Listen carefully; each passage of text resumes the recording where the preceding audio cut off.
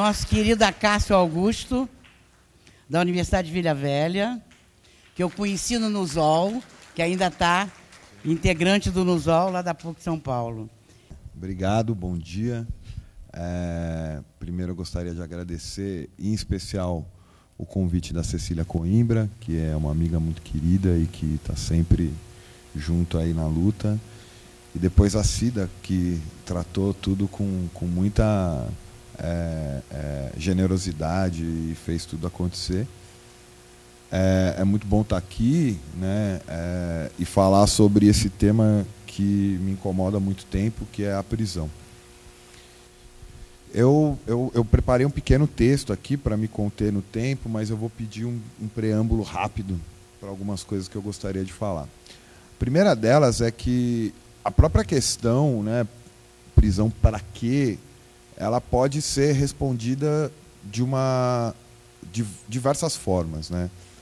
Mas talvez a mais honesta delas seja justamente constatar que a prisão não serve para nada. Quer dizer, não serve para nada no que ela se propõe. E, no entanto, ela serve para muita coisa. Né? É, dentre elas, e eu gostaria de lembrar, já que se falou muito da época que a gente vive, né?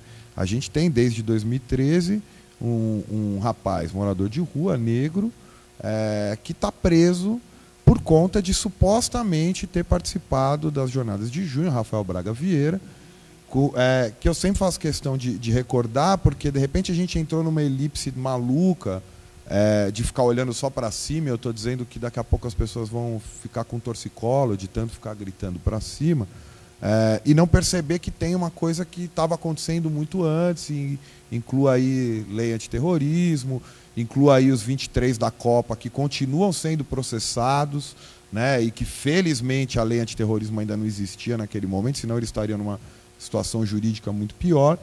Então, quer dizer, a prisão tem essas positividades, como o Foucault vai chamar, que vão além é, é, ou aquém do que ela propriamente se propõe e funcionando aí é, como um dispositivo de controle mesmo. Segunda coisa ainda também que eu queria marcar é que a prisão, isso Foucault mostrou também, é, ela nasce sob o signo da crise. Né? Quer dizer, Sempre se diz que a prisão está em crise, que a prisão é, é, precisa ser reformada, e é justamente essa lógica da reforma que faz com que ela nunca é, seja abolida. E é, sobre um, pouco, é um pouco sobre isso que eu gostaria de falar. E, justamente, ela está sempre em questão, porque é impressionante o fascínio que a nossa cultura tem pela prisão. Né? É, reparem que desde os clássicos da literatura, até os cadernos de grandes intelectuais, eles são valorizados justamente por serem produzidos dentro da prisão. Né? E então a gente vai desde esses clássicos lá do século XIX, quando a prisão nasce, até hoje você abrir qualquer serviço on demand de, de, de série ou de, de, de filmes, o que tem sobre prisão é um volume absurdo. Documentários, séries, é, vídeos, é, é, enfim né? Vai desde Prison Break, Orange is the New Black, é, é, um documentário que tem feito muito sucesso, que é até muito bom, que chama a 13 Terceira Emenda. Então, quer dizer, tem, tem um fascínio muito grande da nossa cultura pela prisão, o que me leva, aí finalizando esse preâmbulo, a dizer que há uma relação muito próxima entre a nossa noção de política, né, ou é, se a gente quiser estender até um pouco na esteira do que o Edson falou aqui, de polícia, é, e prisão. E que a gente vive justamente nesse momento em que a prisão talvez seja o melhor lugar para a gente perceber esse laboratório, né? Como que a crise, como vai mostrar também ficou o nascimento da biopolítica, né, sobre a racionalidade neoliberal, a crise deixou de ser esse momento de, de passagem ou de superação, como se acreditava, principalmente dentro das teorias econômicas clássicas e neoclássicas, é, e passou a ser um modo de governo. Então a gente está sempre em crise, a gente está sempre numa situação de urgência fabricada né, e não se consegue avançar propriamente sobre isso. É, talvez é, essa união entre uma, uma cultura prisional policial do, da, da produção de entretenimento né, e essa produção jornalística documental seja justamente, talvez um, um dos efeitos mais positivos dele, seja justamente criar essa relação de prisão como imagem do medo e, ao mesmo tempo, a prisão como um grande fascínio da nossa sociedade. Então, é, abolir a prisão seria também é, lutar contra essa cultura policial, como chamou uma vez é, é o Hakim Bey num, num, pequeno texto dele, que chama justamente boicote à, cultura policial. Então eu vou pegar um, um, um, fato recente e tentar discutir isso aqui com vocês, e agora eu passo ao texto. O debate público sobre as prisões e as penas talvez seja o mais inchado de opiniões, de dados e de prognósticos ou se vocês quiserem, o que mais tem bode no meio da sala. A cada novo fato em torno da questão penal, seja uma rebelião em algum cárcere, seja um chamado crime que causa comoção pública, né, desenrola-se uma enxurrada de opiniões e renovação de velhas teorias que, pela pluralidade de posições e enfoques, colabora para deixar o problema mais nebuloso ou para se evitar a discussão de forma simples e direta. O mais emblemático desses bodes ou dessas discussões é a redução da maioridade penal. O ECA, o Estatuto da Criança e do Adolescente, foi promulgado em 1990 pela Lei 8.069. Três anos depois, não muito tempo, já havia a PEC 171-1993 propondo a redução da maioridade penal. E a cada fato trágico, e frise-se excepcional, a gente poderia dar uma série de exemplos aqui, essa discussão é retomada. Setores conservadores procuram fazer passar suas, suas propostas de ampliação para os já existentes cárceres para crianças e jovens no Brasil, enquanto setores chamados progressistas buscam barrar o avanço dos conservadores, defendendo, aspas, as conquistas do, ECA. Fecha aspas. Entre um e outro, a prisão para jovens segue, segue intocada, com suas mudanças de nomenclatura e infindáveis reformas, sem alterar sua função e sem mexer na sua positividade. O horror de cabeças cortadas, que abriu o ano de 1917, a partir do massacre promovido em Manaus e suas derivações, trouxe novamente, trouxe novamente à tona essa enxurrada discursiva que, onde muito se fala e nada diz. De fato, é impossível ficar indiferente a centenas de cabeças cortadas nas penitenciárias do norte e do nordeste do país.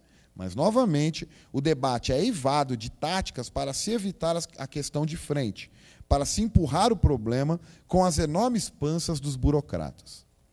Há os carniceiros de sempre, que dirão, que, que dirão apenas que o massacre foi pouco, que deveriam ter matado mais, performando as variações das, das mais diretas às mais políticas, as mais polidas, da insígnia muito conhecida: bandido bom é bandido morto.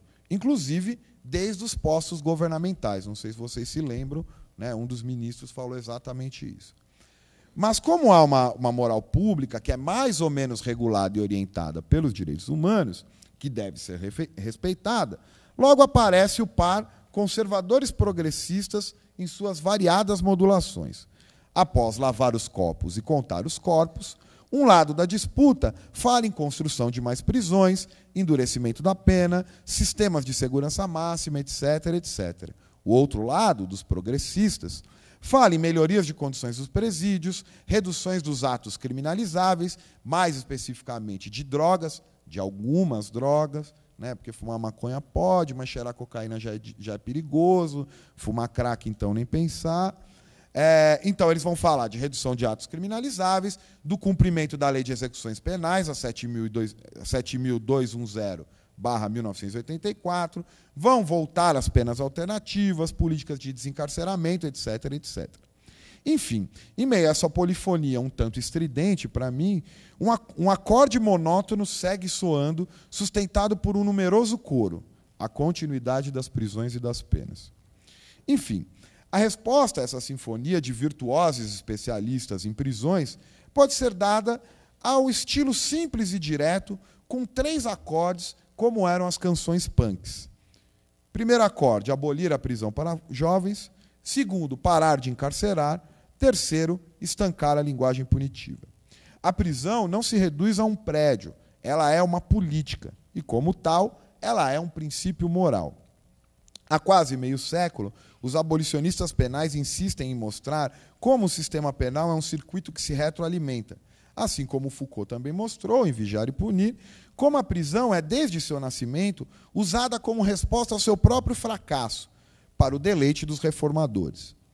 Mas a questão detonada pelas cabeças que rolaram esteve focada, além das prisões, nas ditas facções criminosas, das quais as autoridades governamentais falam como se nada tivessem a ver com isso. E a gente sabe que eles têm muito a ver com isso. Né? Até porque não se mobiliza tanto dinheiro assim só com um moleque de bermuda da Ciclone e chinelo havaiana. Mas a questão detonada, bom, enfim, como se nada tivesse a ver com isso. Tampouco são tratadas como produtos diretos do sistema penal. Né? Eles nunca vão admitir isso. Ou vão colocar de que maneira? São consequência da má gestão dos cárceres e de falhas nas políticas de segurança pública e de assistência social, abrindo, abrindo caminho, mais uma vez, para o coro dos reformadores. Desde 2001, quando, em meio à rebelião do dia 18 de fevereiro do mesmo ano, o PCC, o primeiro comando da capital, fez sua primeira apresentação pública, o Nussol cravou uma análise, o Nussol, o Núcleo de Sociabilidade Libertária, que apontava a novidade do PCC como uma organização empresarial de conduta fascista, disponível ao, ao, ao, compartilhamento da gestão carcerária e produto direto do sistema penal e suas contemporâneas modulações de punições no que Foucault chamou de regime dos ilegalismos, em uma era que, como sabemos, ultrapassa as tecnologias disciplinares em favor de tecnologias políticas de controle. De lá para cá, a proposta de compartilhamento da gestão dos cárceres foi um sucesso. O ponto culminante desse acordo foi firmado aos olhos de quem quis ver, é, após o banho de sangue que, espalhou, é, que, que, se espalhou por São Paulo, é, quando, se, quando a polícia é, paulista executou mais de 500 pessoas pela cidade no fatídico maio de 2006, justamente na Semana dos Dias da, das Mães. Desde então, essa parceria público-privada entre empresas do tráfico e governo, para além da prisão, é, que não precisou se adequar à Lei 11.079-2004, que é a lei das PPPs, se espargiu para além da prisão prédio, agindo também como pacificador de favelas, quebradas, becos e periferias, com o monopólio do varejo de droga no Estado, monopólio mesmo, inclusive padronizando o, o, o, a embalagem do produto, e mais recentemente, ampliando os negócios em, em todo o território nacional e para além deles. Que não venham, então, os humanistas reformadores bradar contra o horror maior que seria a privatização das prisões, sendo que a racionalidade neoliberal já domina essa seara há muito tempo, seja pelo regime dos ilegalismos e seus compartilhamentos variados, seja por meio de ONGs, OSs, fundações, institutos que vivem justamente da continuidade das prisões. Ou seja, as prisões já funcionam em grande medida em um regime privatizado, mostrando que costumes e políticas precedem a lei. Desde que as cabeças rolaram, ou mesmo antes, com a derrocada da política de pacificação no Rio de Janeiro, pode-se deduzir duas ações em cursos, e são duas hipóteses. A primeira é que o acordo de pacificação via regime dos ilegalismos espirrou e que, como o capitalismo é a mais civilizada arte de predação e pilhagem, os envolvidos querem garantir, pelo exercício espetacular e aterrorizante da violência, suas prerrogativas lucrativas nos negócios. A segunda, que não exclui a primeira, é que as diversas empresas e microempresas envolvidas no negócio detonaram uma ação antitrust ou antimonopólio que irritou a corporação dominante no mercado. Né? Lembrando que a, a, a, confusão lá no norte foram, foi justamente uma facção local que matou e cortou a cabeça de supostamente integrantes do primeiro comando da capital. Sem entrar no regime da verdade sobre os fatos, independente das causas primeiras que os, que, que, que os é, detonaram, um preenchimento estratégico do dispositivo prisional se anuncia, ou seja, uma nova reforma que fará com que, mais uma vez, a prisão saia intocada de mais um massacre promovido por ela. Do ponto de vista institucional, isso já foi colocado em marcha.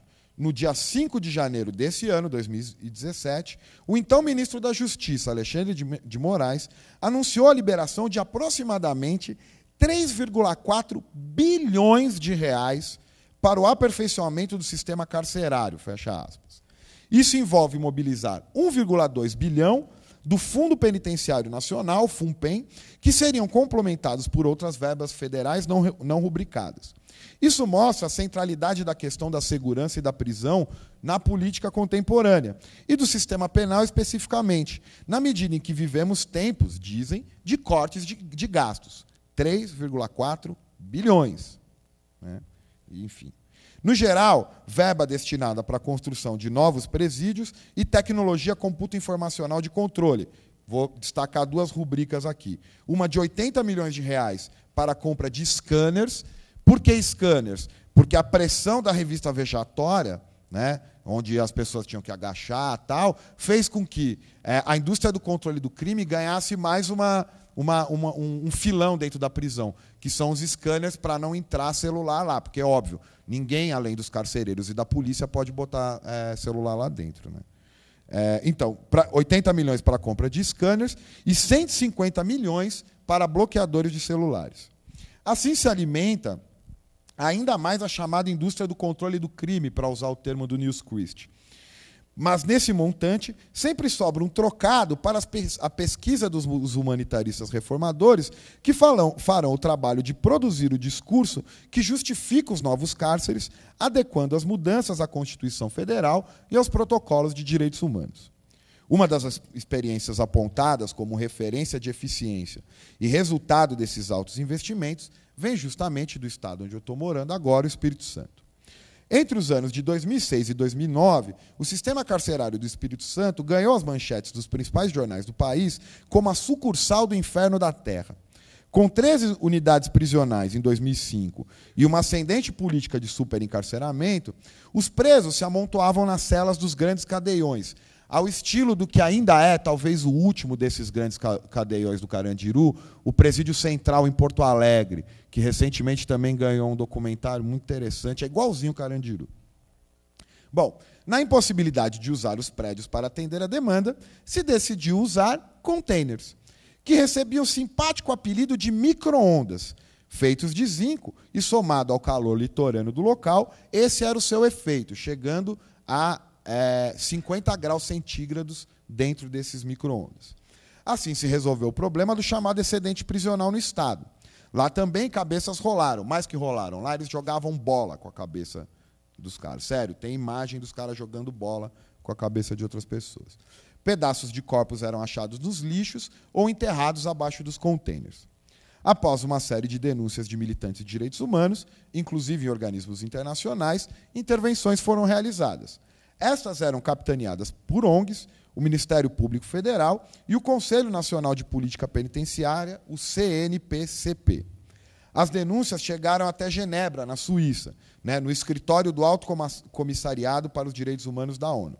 Hoje, passado quase 10 anos e a propósito das cabeças que rolaram no norte do país, a imprensa nacional olha para o Espírito Santo como um modelo a ser seguido, ou apenas um caso pitoresco que justifica o investimento em novas prisões seu secretário de Justiça hoje, Wallace Tarcísio Pontes, unido ao secretário de Segurança, que é outro sujeito muito é, complicado, que é o André Galvão, e ao secretário de Direitos Humanos, que é um sujeito chamado Júlio Pompeu, que se recusou a mandar água para um colégio que tinha sido ocupado é, por, um, por, por, uns estudantes lá, secretário de Direitos Humanos.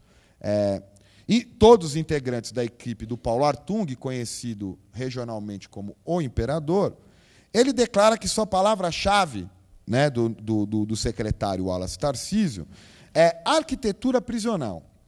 E após investir mais de 500 milhões de reais, o Estado passou de 13 para 35 unidades prisionais, descentralizadas, inspiradas em prisões estadunidenses. Elas impedem a comunicação entre os pavilhões e proíbem a entrada de comida e material de, de higiene trazido pelos familiares dos presos. Essas modernas instalações substituem os chamados cadeiões com eficácia, como se orgulha o ilibado gestor. Não cabe aqui, então, destrinchar o rosário de lamentações sobre a continuidade da violação aos direitos humanos que as novas unidades seguem praticando. A própria matéria que eu citei aqui da BBC de, de, do Brasil trata de ouvir o outro lado, onde especialistas e, e, e, pesquisadores do Estado vão falar, por exemplo, dos PADs, que são os, pro, os procedimentos é, administrativos carcerários, que são verdadeiras é, é, é, formas de, de tortura sistematizada, que é então você não, não tortura o cara diretamente, mas, tipo, ah, toca a sineta, o cara tem que sair, ele tem que agachar, ele volta, aí ele fica no pátio e, e assim por diante. O mais importante, para já encaminhando para o final, o mais importante é apontar. Obrigado. É, o mais importante é apontar como essa experiência pode ser vista como uma referência para a solução do que está ocorrendo nas prisões do Norte e do Nordeste, mas não como querem os humanitaristas reformadores. Ela mostra que pode ser a resposta a partir de um velho itinerário de continuidade da prisão. A brutal violência é alvo de críticas, escoradas na falência do sistema, na garantia da dignidade dos presos e na necessidade de controlar a violência. Dessas críticas decorrem as propostas de reforma e estas mobilizam uma, uma enorme contingente de especialistas e um volume considerável de dinheiro para realizá-las.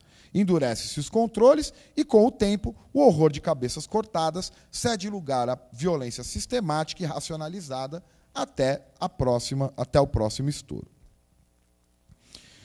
Enfim, o sistema penal é um negócio infalível, na medida em que ele recruta a própria clientela. Ao contrário de outros negócios dentro de uma economia capitalista, ele não precisa se ocupar em cativar os seus clientes. Estes são entregues de bandeja pela polícia e o judiciário. Partindo dessa constatação, é possível chegar a uma proposta que jamais será aceita. Lembrando aqui o título do texto do anarquista Erico Malatesta para um jornal inglês no começo do século XX, no qual ele propunha a liberação das, a liberação das drogas como soluções do que, se, do que se chamava até então tráfico de cocaína na Inglaterra. Bom, se realmente há motivações em acabar com as chamadas facções criminosas e conter o banho de sangue das cabeças cortadas, a solução é simples: parem de prender. Ou seja, parem de garantir o recrutamento das próprias facções. Mas se as. Não é na... E não é nada mirabolante, nem tampouco uma solução mágica imediata. Mas se as ditas facções criminosas se tornaram parte da gestão carcerária no Brasil, é porque extraem sua força e lucratividade do recrutamento prévio que o sistema penal faz para elas. Interceptar o recrutamento, abolindo a prisão, seria uma saída mais corajosa e efetiva e, ao menos, enfraqueceria o poder de quem corta cabeças hoje, como alguém que fatia frios no café da manhã. Na pior das hipóteses, o problema seria, então, encarado de frente. Fora essa proposta simples e direta, mas que carece de coragem, seguiremos ouvindo o coro contente do rebanho que ama punições, a cantinela dos reformadores humanistas e o solo hipócrita e virtuoso dos especialistas em segurança pública, né, que é uma figura que eu tenho verdadeira ojeriza quando eu vejo. A trilha sonora das cenas do horror é isso que eles fazem. Pois a polícia seguirá executando com, tiro na, com tiros na nuca, e os açougueiros seguirão cortando as cabeças. Açougueiro aqui não é uma metáfora. O sujeito que cortava a cabeça dentro do Pará, ele era açougueiro de profissão, só para lembrar. Enfim, diante desse espetáculo de hipócritas, quem poderá reempreender o cínico que disser que ao menos esses últimos, esses açougueiros, sujam as próprias mãos de sangue, diferente do cidadão de bem, do juiz herói ou do ministro super-homem, que clamam para que alguém faça esse serviço sujo no lugar deles. É só isso.